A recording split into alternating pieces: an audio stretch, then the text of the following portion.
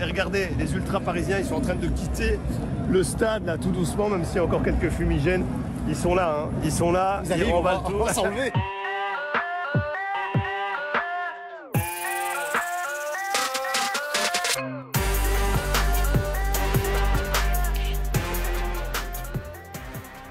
Salut tout le monde, la Ligue des Champions est de retour et on ne peut pas être plus heureux après euh, ces deux premières journées de huitième de finale qui ont déjà révélé quelques beaux, beaux, beaux matchs. Euh, Et qui dit retour de la Ligue des Champions, on dit évidemment retour, eh bien oui, de flashback et on reprend nos bonnes habitudes de débrief des affiches de la semaine. Et en plus de ça, on a une petite surprise pour vous, regardez bien l'épisode d'aujourd'hui, c'est assez sympa. Et puis, euh, qui dit retour de la Ligue des Champions, dit aussi retour du multi-live. Et vous n'avez pas pu passer à côté si vous avez regardé le multi-live dès mardi. On a un tout nouveau studio chez Sport. Il est magnifique. Regardez-moi ça, ces beaux écrans et euh, ces belles lumières. Honnêtement, il est vraiment, vraiment top. Mais bon, place à notre euh, petite habitude de débriefer les matchs et les affiches de Ligue des Champions. On est bien dans Flashback. Premier arrêt, direction Paris. Et oui, évidemment, pour le match au sommet de ces huitièmes de finale de Ligue des Champions, un PSG Real brûlantissime. D'ailleurs, on n'allait pas manquer l'occasion d'envoyer une équipe de tournage pour accompagner nos commentateurs sur place. Vous aurez tous les insides et toutes les coulisses de, cette, de ce voyage vraiment, vraiment spécial euh, dans un reportage prévu lors du match retour. Donc, regardez bien le multi-live au match retour pour voir ce reportage. On voilà en tout cas quelques images teaser, vous pouvez voir. En attendant, on part directement aux abords du stade pour débriefer la rencontre avec nos commentateurs Vincenzo Choro et Alex Teclac. Vous les entendez hein, derrière nous, il y a des ultras parisiens. C'était un match capital aujourd'hui. Parce qu'il y avait le Real en face, parce que les ultras ils étaient fâchés sur les performances du club. Et vous savez quoi, l'homme du match est une nouvelle fois Kylian Mbappé. Alex, est-ce que c'est le meilleur joueur du monde à l'heure actuelle?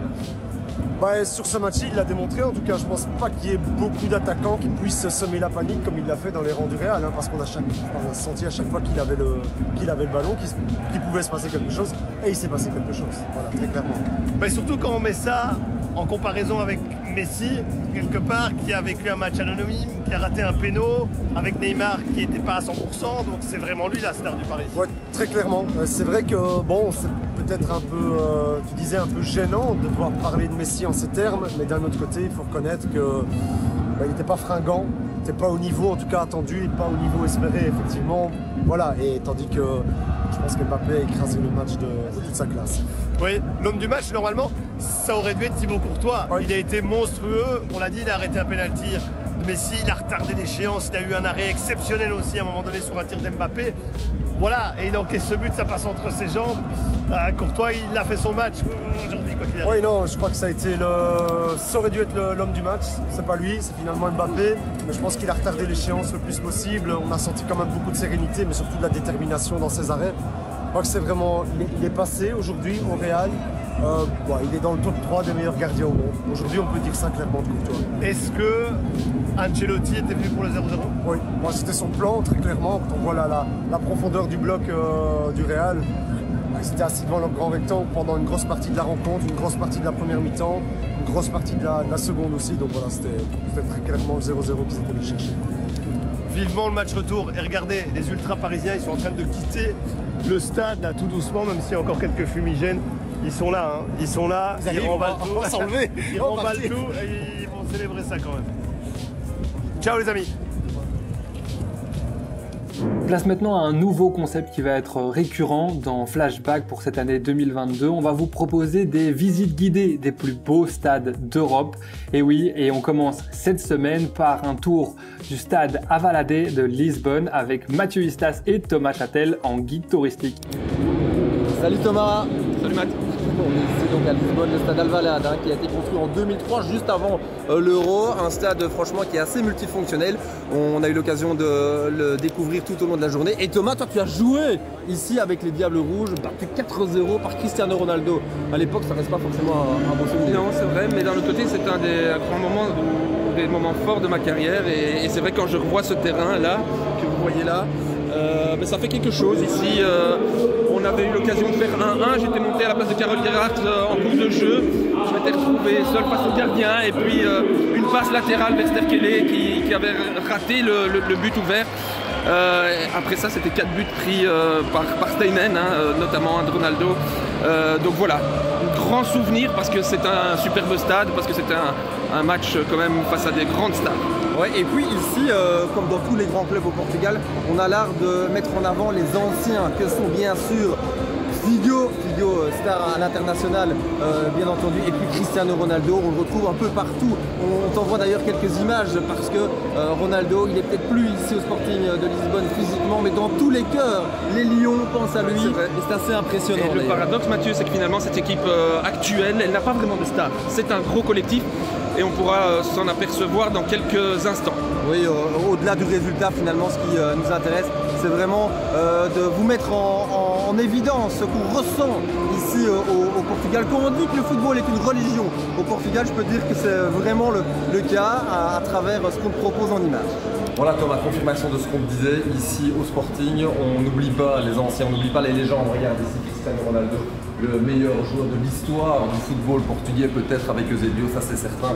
Il est là, il est mis en évidence, on est au cœur du stade. Il y a Ronaldo, mais il n'y a pas que lui, tu vas le voir. Il y a Ronaldo, mais il y a aussi Figo qui est mis à l'honneur ici, bien sûr, légende du club. On est vraiment dans les entrailles du stade Alvalade avec les anciens qui sont mis à l'honneur et peut-être dans, quelques années, les petits jeunes ici qui seront eux aussi présents dans ce grand musée du Sporting du Portugal.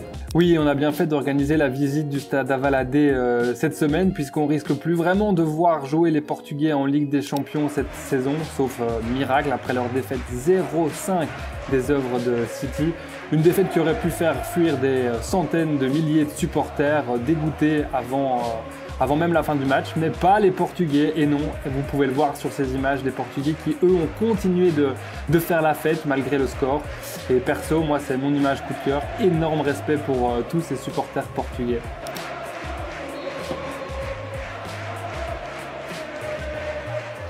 Coup de cœur aussi pour les gamins de Salzbourg qui ont quand même bien tenu tête au Bayern Munich cette semaine.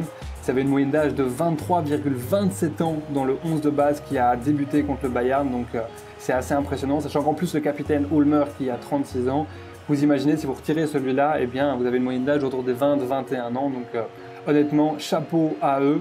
Et j'espère qu'ils pourront faire euh, une même performance au match retour, parce qu'en tout cas, moi, je m'attendais pas du tout à ce qu'ils tiennent aux têtes au Bayern comme ça jusque dans les derniers instants du match. Et donc, on espère un, match retour aussi animé. Mais l'affiche de ce mercredi, c'était quand même Inter de Milan contre Liverpool, un match commenté par Marc Delire et Alex Teclac. Et euh, on va tout de suite filer à San Siro pour euh, débarriffer ce match avec eux depuis la tribune des commentateurs.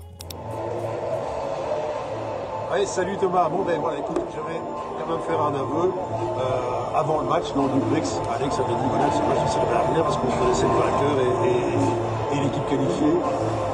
Faut bien reconnaître que, tu avais raison, mais euh, franchement, par moment, je me suis dit, oh, il va avoir tort, et ça, c'est pas fait. C'est là que ça se fait la différence, Ouais, je crois que c'est vrai qu'ils ont été inquiétants pour cette équipe de Liverpool. Marc nous a euh, ils ne sont, pas reniés, comme on l'a dit, ils ont joué leur propre jeu.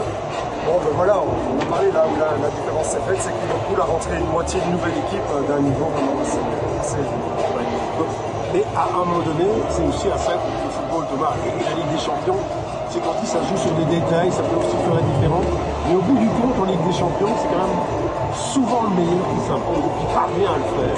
Oui, tout à fait. C'est vrai qu'à moins, il suffit. Il y a de la qualité, il y a du spectacle, il y a de la beauté, mais il y a moins de surprise. Oui, et alors, tu le disais, tu le rappelais, pas une seule erreur du côté du. On n'a rien à faire, on n'a pas donné de cadeaux.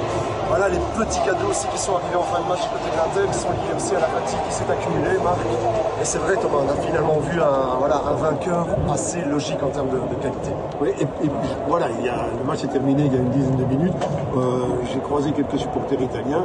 Il n'y a même pas de colère, il y a, il y a, comme d'accepter qu'on est battu plus fort. Oui, je ne veux pas dire la résignation, mais simplement le fait de reconnaître que la personne était meilleure et qu'à un moment donné, ben, l'Inter reste l'Inter avec euh, sa capacité financière et que Liverpool est une grosse puissance financière au football mondial aujourd'hui.